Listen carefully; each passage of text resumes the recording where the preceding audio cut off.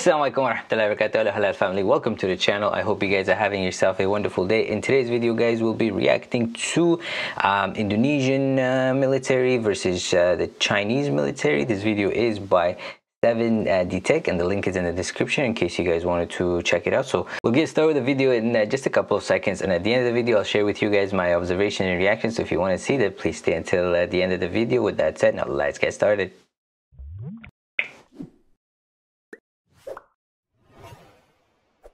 This is the Indonesian military baru saja menyatakan siaga tempur di wilayah perairan Kepulauan Natuna dan sekitarnya. Sikap itu diambil tak lepas dari gelagat Cina yang mengklaim berdaulat di perairan tersebut sehingga kapal-kapalnya bebas berlayar. Terlepas dari segala sentimen yang ada, memang harus diakui kalau militer Tiongkok China's recently been modernizing their uh, military too quite a bit. seperti bocah oleh Jepang, namun beberapa waktu kemudian Tiongkok bangkit dan perlahan menjadi seperti yang sekarang. I think they're the first country to send a um, a, uh, what was kind of, uh, mengalahkan computer Amerika Serikat system. um, Tidak a satellite. I forgot what uh, exactly was uh, called. seperti inilah faktanya. And uh, Secara detail, Indonesia memang kalah telak Yes, it's dalam basically setiap aspek. that's Tidak going hanya to jumlah uh, tentara, give tapi them juga yang um, lainnya. a hands Untuk lebih jauh soal um, perbandingan ini, berikut up adalah in beberapa uh, fakta comparison to other perbandingan military to some Indonesia extent dan because China. uh, that Tapi way of sebelum communication topik utama, is jangan basically lupa supposedly subscribe, fully like, dan encrypted and there's no way that you notifikasinya can agar kalian tidak basically ketinggalan hack video into it.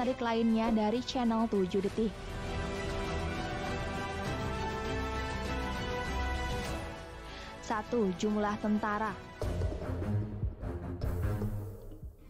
Berbicara soal perbandingan jumlah tentara, jelas Indonesia tak ada apa-apanya dengan Tiongkok. Wow. Bagaimana tidak, si negeri tirai bambu ini adalah negara dengan penduduk terbanyak di muka bumi.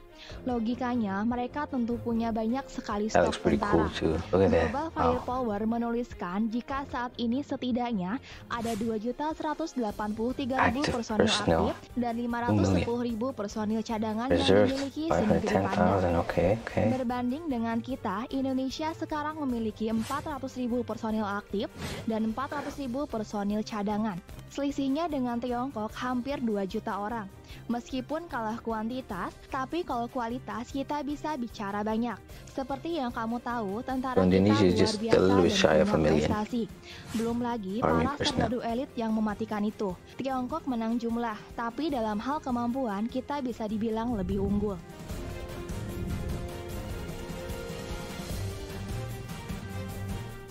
Dua, alutsista darat. Hanya unggul jumlah tentara, Tiongkok juga mendominasi kita lewat alutsista darat yang mereka miliki. Misalnya tank. Coba tebak berapa banyak yang mereka punya hari ini? Hmm, jawabannya adalah 13.000 I like how they edited some- Jumlah ini begitu added some cool, Indonesia yang hanya uh, punya scenes in there. 315 tank saja. Kendaraan tempur pun demikian. Tiongkok hari ini memiliki sekitar 40 ribu rampur untuk kendaraan perang mereka ini. Katanya diketahui kualitasnya sama seperti Humvee-nya Amerika yang legendaris dan tahan banting itu. Untuk kendaraan tempur, Indonesia hanya memiliki 1.300 buah saja. Wow. 3. Alutsista udara. Airplanes, yes, fighter jets. Indonesia sepertinya lagi-lagi harus mengakui kehebatan Tiongkok. Kali ini untuk urusan kekuatan udara, Global Firepower menuliskan kalau armada tempur udara Tiongkok sangat jemawa. Berbicara jumlah kita bakal dibikin geleng-geleng karena saking banyaknya. Misalnya pesawat tempur, Hari ini mereka memiliki sekitar 1222 unit, sedangkan Indonesia Oh, hanya punya 41 buah saja. Untuk helikopter tempur pun demikian. Kita hanya punya 8 sedangkan mereka 192 unit. Untuk ranah udara, Tiongkok ini Nice, memang okay. sinting. Ditambah lagi, senegeri panda ini juga bikin sendiri alutsista-alutsista udaranya. China makes their own uh, aircrafts too, aircraft alutsista carriers. Untuk ranah kelautan, Indonesia dan Tiongkok cukup jauh berbeda. Alasannya apalagi kalau bukan jumlah alutsista kita dan mereka yang terpaut jauh. Ambil contohnya kapal selam. Tiongkok hari ini memiliki 76 buah, sedangkan Indonesia hanya memiliki 5 unit saja. Akan Oh, bertambah sih, tapi jumlahnya tidak bisa diharapkan. Pun begitu dengan kapal-kapal tempur lainnya macam frigates, destroyer, dan corvette, Tiongkok unggul cukup jauh. Dan tak hanya itu saja, mereka juga punya satu unit kapal induk yang masih gagah dan beroperasi aktif. Meskipun mereka begitu jemawa di lautan, tapi dalam praktiknya kita pernah membuat mereka gentar. Salah satunya buktinya adalah kelas di Laut Cina Selatan beberapa waktu lalu dan kali ini berulang kembali. I don't think Indonesia has an aircraft pun perlu Might have destroyers, which allows them basically to land and uh, take off helicopters, but not fighter jets. yaitu 224 miliar US dollar, sedangkan kita hanya 6,9 miliar US dollar saja.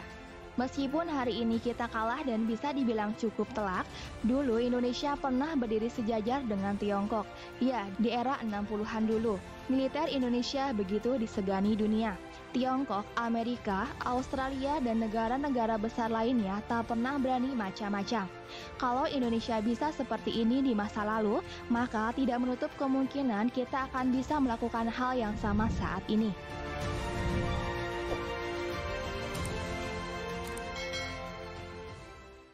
That was interesting, guys. So it's uh, just a comparison, for example, of what are the uh, mili- military uh, like hardware each uh, country has. So it's understandable that uh, Indonesia only has 230 million population, where China is over a billion. So uh, their population is uh, larger, their defense budget is larger, and as well, they're basically the second biggest economy they're just about to take uh, the first uh, place, so they're gonna kick uh, states off of the first place, and they have a lot of money to play around with, as well as uh, now they're developing a lot of uh, technology. They make their own drones, uh, fighter jets, aircraft carrier, as well as um, one of their new weapons, which is only I think China as well as Russia only have it, which they call a glider, and supposedly it could change its direction based on the, the radars that are around. So they're saying basically there's no weapon out there that could stop it. And uh, to some uh, extent, you know, China's a little bit advanced now with uh, technology. Um, you know, they were one of the first uh, countries, for example, that uh, um, deployed 5G technology for telecom, and that's going to allow them basically to do uh, more and advance their country. So. Uh, really uh, interesting guys and mashallah indonesia they have a lot of uh, hardware uh, too.